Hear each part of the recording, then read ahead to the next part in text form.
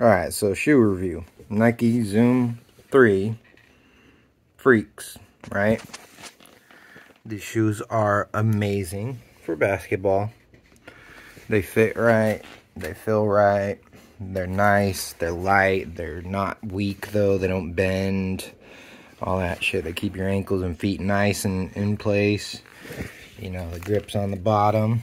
I've worn these two or three times now, outdoor basketball on blacktop you know, not even a fucking dent. So, yeah, I mean, I've never, since the Kobe 7s maybe, bought basketball shoes that are over a $100 to play in. And I'm glad I did with these because these are fucking, honestly, I feel amazing out there. I can, any movement, you know, no matter what it is, whether what speed it is, it just feels nice. You know, you have the grip, the stopping, everything.